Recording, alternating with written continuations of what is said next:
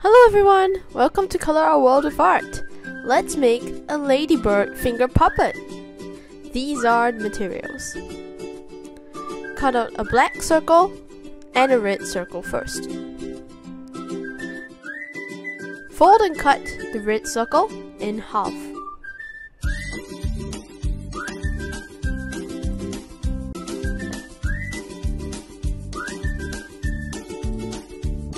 Paste the red semicircles on top of the black circle, such that the gap between them when they are pasted in place looks like a slice of pizza.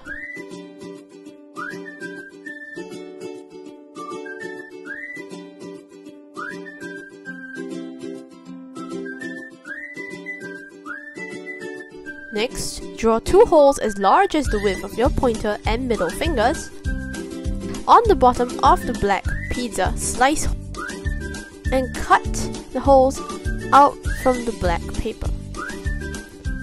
Next, cut another smaller black circle and paste it on the top of the body.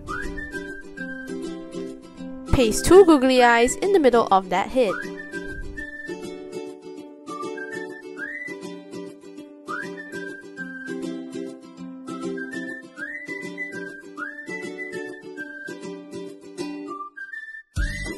And then use a white pen to draw a smile below the eyes. Next, cut two strips of black paper about 4 cm in length and paste them behind the eyes on the ladybird head.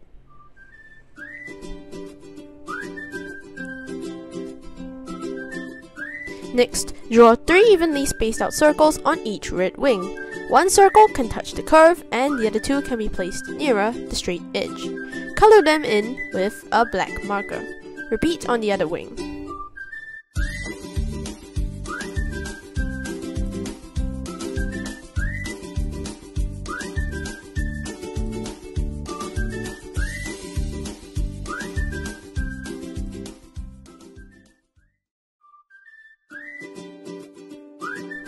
Now put your fingers through the holes and let it fly!